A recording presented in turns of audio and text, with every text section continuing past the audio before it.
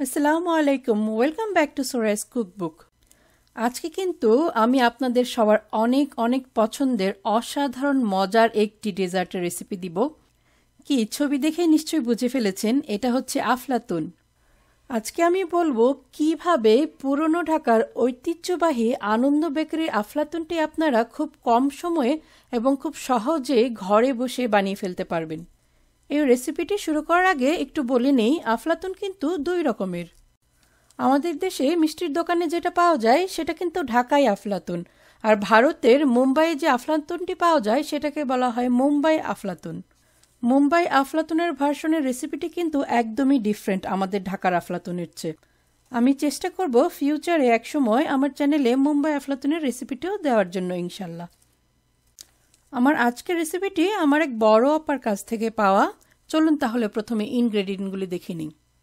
আজকে আফলাতুনের জন্য লাগবে চারটা ডিম। ডিমগুলো ফ্রিজ থেকে বের করে একটু নর্মাল টেম্পারেচারে নিয়ে আসতে হবে। এক কাপ ফুল ক্রিম গুঁড়ো দুধ, এক কাপ চিনি, ময়দা এবং সুজি মিলিয়ে চার ভাগের এক কাপের মতো পরিমাণ হবে। আরও চার ভাগের এক কাপ লাগবে ঘি।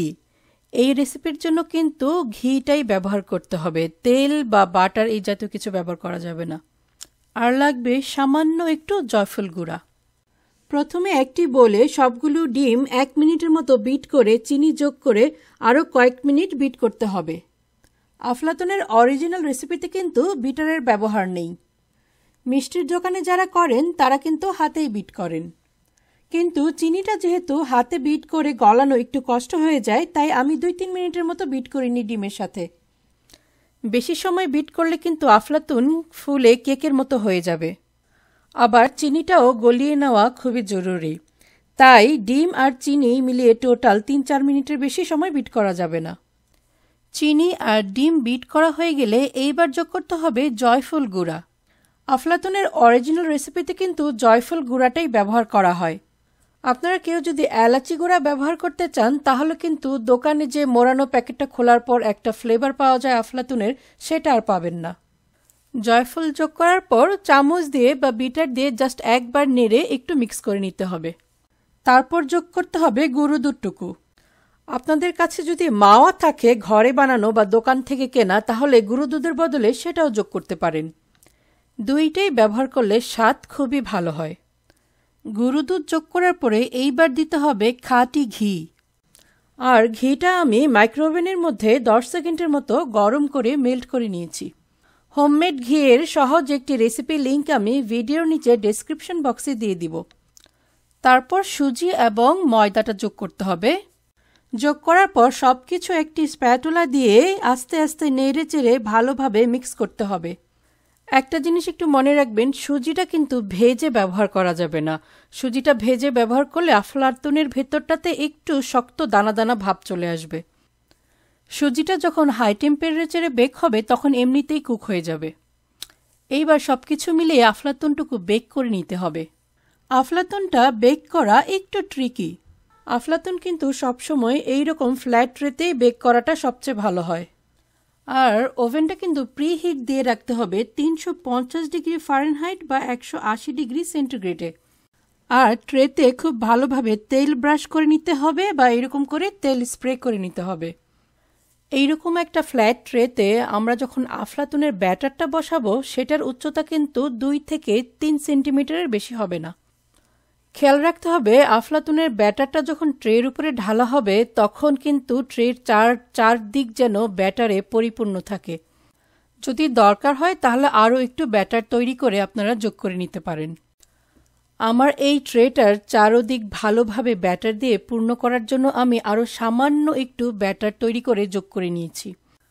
আফলাতুনের ব্যাটাটা যদিও ফ্ল্যাটভাবে বসানো হয়েছে, তারপরেও কিন্তু আমাদের একটু বেশি সময়ে বেক করতে হবে যেন ভেতরটা ভালোভাবে হয়ে যায়। প্রথম ৩০ মিনিট আমি তিনশো পঞ্চাশ ডিগ্রি ফারেনহাইট বা একশো আশি ডিগ্রি সেন্টিগ্রেডে রেখেছিলাম ওভেনের তাপমাত্রা।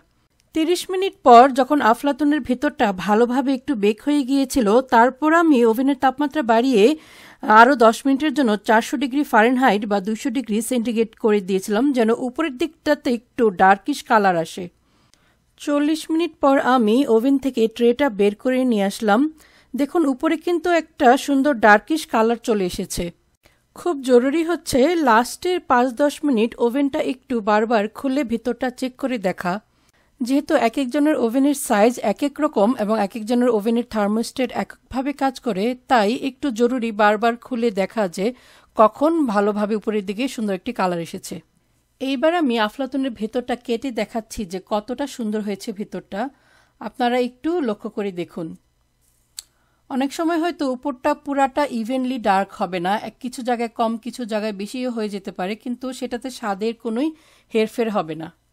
কম বেক হলে যেটা হয়, আফলাতুনে যেহেতু বেশি পরিমাণে ডিম দেওয়া হয়, ভেতর দিকটা পুডিংয়ের মতো একটু নরম বা কাঁচা রয়ে যায়।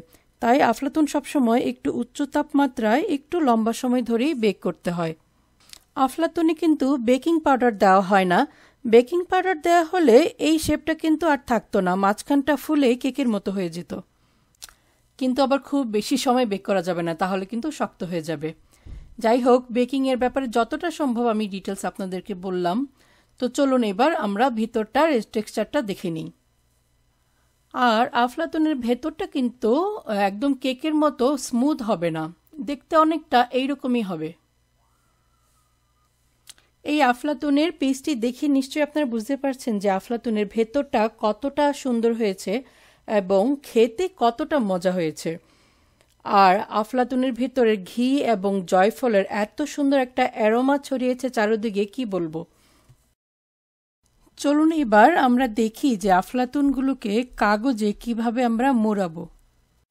এই রকম পার্চমেন্ট পেপার বা ওয়েক্স পেপার যে কোনো এক ধরনের কাগজ দিয়ে আপনারা আফলাতুনগুলো আলাদা আলাদা করে মোড়াতে পারেন। ওয়েক্স পেপারটা একটু গ্লজি টাইপ থাকে, তাই আমি ওয়েক্স পেপার দিয়েই মুড়িয়ে নিচ্ছি। এইভাবে করে ওয়েক্স পেপার দিয়ে মুড়িয়ে আফলাতুনগুলোকে কিন্তু একটি এয়ারটাইট বক্সে রেখে দিতে পারেন আপনারা ফ্রিজের বাইরে, রুম টেম্পারেচারে কয়েকদিনের জন্য।